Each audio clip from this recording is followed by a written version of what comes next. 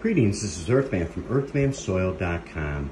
God bless you guys, and I hope you're doing well today. This is a follow-up video on an experiment um, growing uh, in different lighting and lighting times.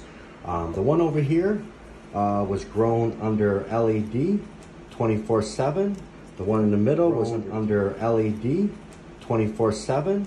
The one in the middle was under T5s 24-7 and this one I forgot the water but it didn't grow very well anyways under 12-12 I don't think parsley likes to grow 12-12 and so uh, it kind of died easy you know usually my plants are pretty hardy but that just died quick after I let it dry out.